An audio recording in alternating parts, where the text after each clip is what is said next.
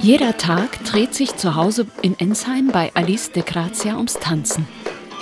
So bereitet sie sich auf ihre Arbeit vor. Man muss sich fit halten. Das ist ganz, ganz wichtig. Das ist A und O. Ähm, weil ich will natürlich in meinem Kurs immer besser sein als die anderen. Ich will natürlich dann auch fitter sein als die anderen. Und meine Challenge ist immer, wenn ich es mit den Jugendlichen noch wirklich so mithalten kann. Und das kann ich aktuell noch sehr gut.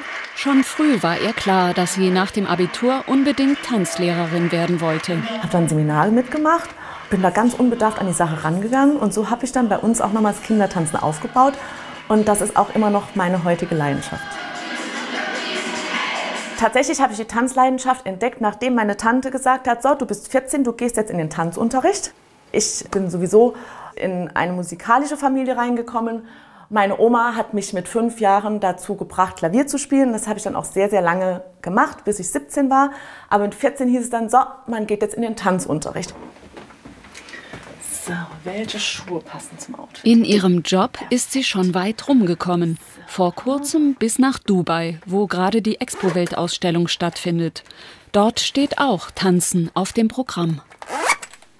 Es ging darum, die Menschen abzuholen und zu sagen, okay, sie sind jetzt durch den deutschen Pavillon gegangen, durch den Campus Germany. Und dann kamen die Leute einfach zu uns und haben mitgemacht.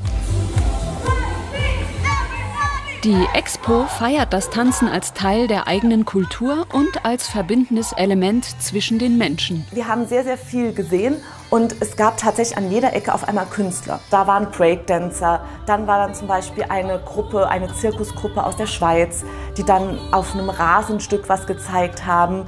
Dann sind da Damen mit Gewändern, mit so riesigen Flügeln durch die Straßen gewandert. Der schönste Moment war tatsächlich, als eine Schulklasse da war mit Mädchen im Alter, ich schätze mal so 15, 16 Jahren und hatten die mal gebeten, doch einfach mal einen Walzer zu tanzen. Und dann haben wir gesagt, so, wir zeigen euch das jetzt einfach mal. Und da haben wir es tatsächlich geschafft, dass die Mädchen Lust hatten, den Walzer zu lernen. Ganz, ganz easy. Und die haben sich zu zweit hingestellt und haben dann mit uns Walzer getanzt.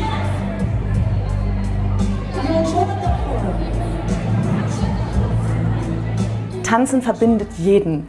Es verbindet alle Kulturen, Musik geht an und jeder möchte sich bewegen. Und das ist halt das Tolle, was Tanzen kann. Dann können wir loslegen. In der Corona-Pandemie hat sie das Internet als Tanzplattform entdeckt. Man kann selbst natürlich sich einen Tanz überlegen und sagen, komm, den stelle ich jetzt mal ein.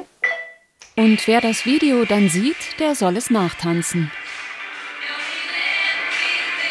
Die Jugendlichen, die lieben das auch. Das ist auch immer sehr interessant, die Koordination zu schulen und zu sehen, was klappt, was klappt nicht, wo muss man nachhelfen.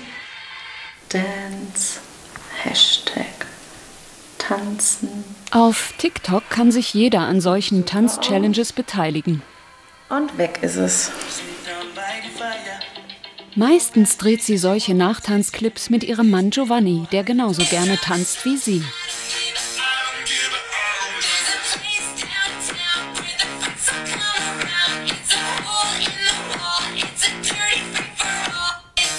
Auch in Dubai hat sie ihr Handy dafür genutzt, fürs Tanzen Werbung zu machen. Wenn man dann auch auf der Expo rumläuft, meine Kollegin und ich, wir sind zu den verschiedenen Pavillons gegangen, die uns gut gefallen haben und haben dann immer diesen Expo-Tanz getanzt.